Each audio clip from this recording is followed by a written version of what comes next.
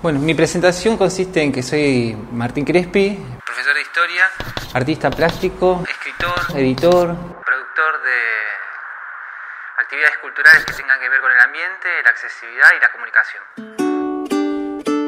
La naturaleza humana es un proyecto que es una muestra plástica que se terminó transformando en un libro y es una muestra plástica de distintas problemáticas ambientales donde trabajo una serie de diversas problemáticas ambientales y socioambientales y trato de hacer una síntesis conceptual de, de, esos conflictos, de esas problemáticas, de esos territorios, plasmados haciendo una síntesis de, la plástica.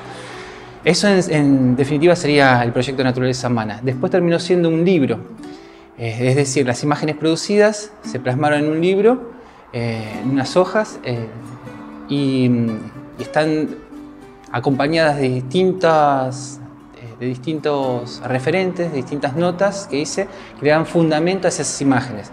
Entonces, el tema de la comunicación tiene una, dirección concreta de comunicar a través primero de la imagen, sensibilizar a través de la imagen y después eh, eh, fundamentar estos conflictos, estas problemáticas con los testimonios de afectados directos o de referentes que están trabajando sobre estos temas. Mi nombre es Fabián Tomasi, soy de la provincia de Entre Ríos, de la ciudad de Vaso, y fui afectado por los agrotóxicos que se explican... Mi nombre es Ana Zabaloy, soy docente, jubilada, eh, ex directora de la Escuela Rural número 11 de San Antonio Areco. En mi escuela eh, sufrimos la misma realidad que en la Mari Mari Compuche, Mapuche Tainche, Moira Millán Piñán, Mapu Meu. Soy Moira Millán, soy de la nación Mapuche, vengo de la provincia de Chubut, de nuestra pueblo Mapu, analizando un poco lo que pasa con relación a la aplicación del artículo el libro tiene la, particularidad de tener un códigos QR, entonces uno escaneando con un aparato electrónico, con un celular, puede escuchar también las voces, los distintos tonos, cómo se dijo, cómo se pronunció, las distintas sensibilidades, la carga emotiva que hay en, la voz. Eh, entonces ahí la palabra cobra más fuerza, eh, tiene más relevancia. Y me parece que el objetivo ahí es la comunicación. Eh, cuando uno intenta comunicar una idea, unos conceptos, esa confluencia de, conceptos, de ideas, más imágenes, me parece que digamos, es como una confluencia armónica que sea entre la palabra y la imagen. ¿no? Eh, el texto que acompaña a, las imágenes, a, las producciones visuales, son, cortos, eh, son de 4 o 5 minutos, por ahí algunos son un poco más extensos, pero es, está pensado también para chicos, adolescentes, que el grado de atención es ese, que no leen mucho, entonces eh, me parece que hay una dinámica ahí de pensar, de, de, expresar dos o tres conceptos en poco tiempo, en forma clara y sencilla para la gente común. Esa fue más o menos la, la, intención de la producción, ¿no? que las palabras, las ideas, los pensamientos, las reflexiones fundamenten a la imagen y que potencien el mensaje visual.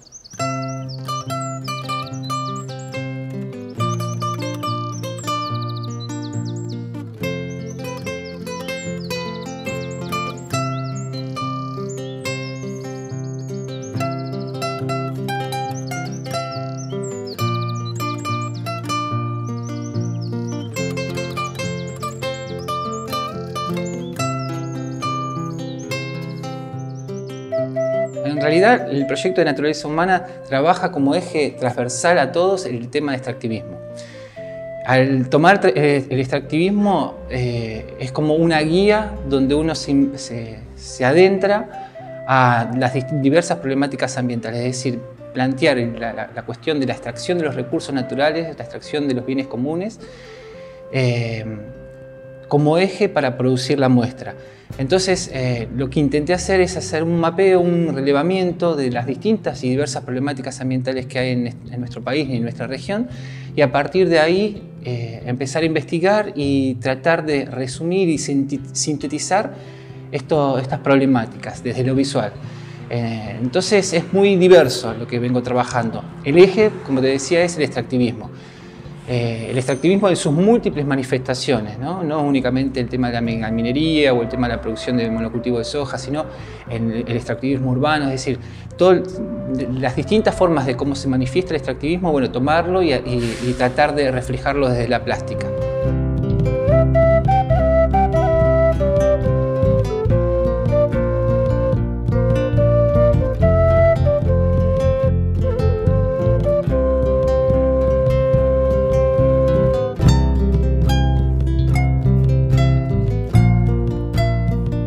Bueno, lo, que uno busca con este material es comunicar. Me parece que lo importante y el objetivo del libro, el objetivo de la muestra, el objetivo de la página, porque todo el material está disponible gratis en la página, que es pachamamitalibros.com.ar, y si no en el blog lo buscan, ahí está todo el material, los libros infantiles, la muestra, las imágenes la muestra, los audios, está todo el material ahí para que lo descarguen, lo distribuyan, hagan lo que quieran.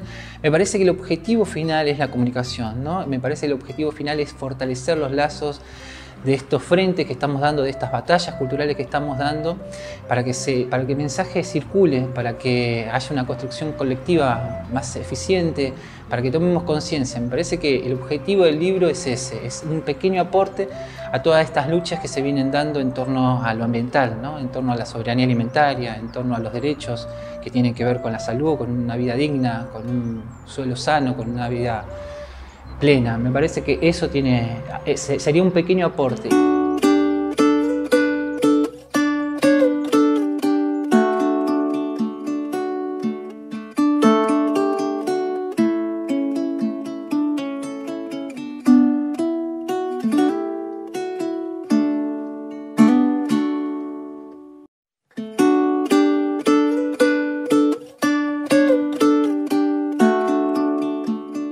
Es una aventura, Pachamaita Libro es una aventura, es un proyecto editorial que surgió a partir de la muestra plástica. Cuando yo pensaba la muestra, pensaba que en un rincón tenía que haber material pensado para chicos, es decir, si vos vas con tu hijo, con tu hija, con tu sobrino, a visitar la muestra, a, ir como público a ver una muestra plástica que tenga que ver con problemáticas ambientales, hay un espacio pensado para chicos. Y ahí se me ocurrió hacer una serie de libros, dos o tres libros, y en su momento, bueno, los hice a mano, cosiéndolos, encuadernándolos a mano.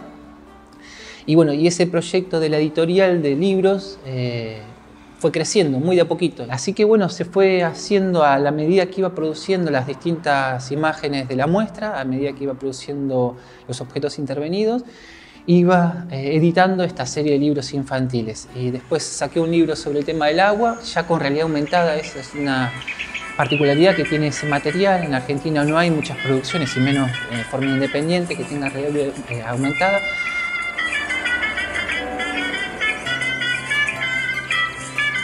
Es lo interesante de este recurso tecnológico que es que los libros están gratis, como te decía anteriormente, en el blog y en la página, entonces, vos no hace falta que compres el libro, vos te descargas el aplicativo gratis para Android, enfocás en las imágenes del libro en el monitor y tenés acceso a, los juegos y a la realidad aumentada que tienen los libros. Es súper interesante como recurso didáctico para trabajar contenido, en este caso que tenga que ver con lo ambiental.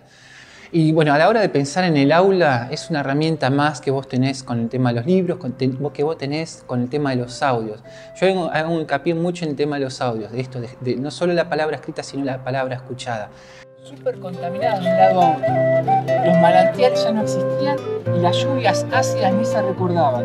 Las pocas alcantarillas levantadas se calientan muchísimo. Bueno, eso mismo pasa en la Tierra. Por eso... Eh, la arena del mar está muy caliente. La arena del mar está muy caliente porque concentra. Bueno, entonces pasaba eso, había mucho calentamiento global. No podemos bañarnos. Exactamente. Me parece que nosotros tenemos que tener una lectura acerca del sistema, qué es lo que hace el sistema capitalista con las sensibilidades. ¿no? Eh, creo que el punto de partida es ese. Eh, es un espacio de disputa, me parece que, hay que trabajar mucho, eh, conscientemente de lo que entra en juego de las sensibilidades, porque este sistema te aísla, te, te toma como individuo, te mediatiza a través de una pantalla digital. Entonces, me parece fundamental el tema de trabajar las sensibilidades, de trabajar la empatía, lo que le está ocurriendo al otro, a la otra que está en un territorio que podrías estar vos en esa situación. que estamos, eh, estamos de alguna manera o no, o en algún momento, a corto o a mediano o a largo plazo, estaremos afectados por cualquier problemática ambiental, porque respiramos, porque comemos, porque nos alimentamos, porque tomamos agua. Entonces me parece que el tema de las sensibilidades es una forma de comunicación imprescindible a, tener en cuenta. Me parece que es, esto, de no, de, no subestimar las, comprensiones. No solamente pasa por la racionalidad, la comprensión, sino también eh, las, sensibilidades ayudan a incluso a sintetizar conceptos complejos que, uno a través de una imagen, a través de una palabra, a través de una música, a través de una expresión artística, llega a, comprender y, a sensibilizarse justamente. Y esa sensibilización lleva a una acción concreta, ¿no? lleva a una transformación, no solo una, una introspección, porque le toca una fibra determinada, sino también a accionar en la realidad concreta. Hay mucho por hacer, mucho por crear, mucho por problematizar, mucho por por, debatir y mucho por cambiar. Eh, y me parece que este sería un aporte mínimo. Eh, me parece que, hay que hacer mucho con literatura infantil, con estas problemáticas, porque son las generaciones futuras que, van a padecer las consecuencias de, lo que nosotros estamos haciendo a la naturaleza. Y me parece que, la educación ambiental tiene que ser transversal eh, desde, desde, el jardín de infantes hasta la secundaria, incluso hasta la universidad. Me parece que tenemos que aprender muchísimo de los pueblos originarios, muchísimo de la naturaleza y me parece que el camino de la, educación es uno de los caminos que hay que transitar. Así que por eso, por esos motivos uno intenta hacer un pequeño aporte a toda esta batalla cultural que hay que dar.